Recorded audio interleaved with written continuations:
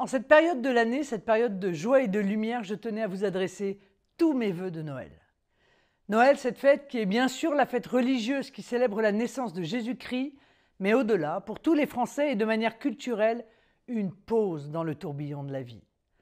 Un moment de calme et de paix, de réconciliation et d'amour, de rencontre et d'harmonie, d'espérance et de partage.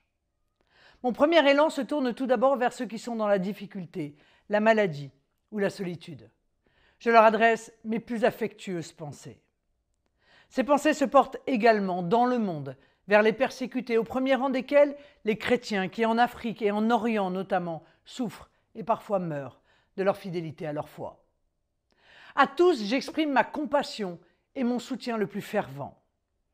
Que cette fête si merveilleuse soit l'occasion de l'espérance, une espérance de joie et de bonheur pour chacun d'entre vous, une espérance pour notre peuple, souvent éprouvé, une espérance pour notre cher pays qui doit trouver les voies de la Renaissance. Avec le féerique émerveillement des enfants, le scintillement des illuminations et la douceur des chants, célébrons ce moment si particulier où s'assourdissent les débats, où s'assoupissent les combats. Ce moment où nous sommes invités à nous tourner vers les autres, vers nos familles, nos proches, nos amis. Ce moment d'amitié de fraternité qui est finalement le plus beau des cadeaux de ces jours enchanteurs. Très heureux Noël et très joyeuse fête à tous.